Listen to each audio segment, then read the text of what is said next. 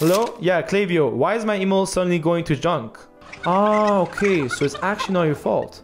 But for your emails to go to inbox, three conditions need to be met.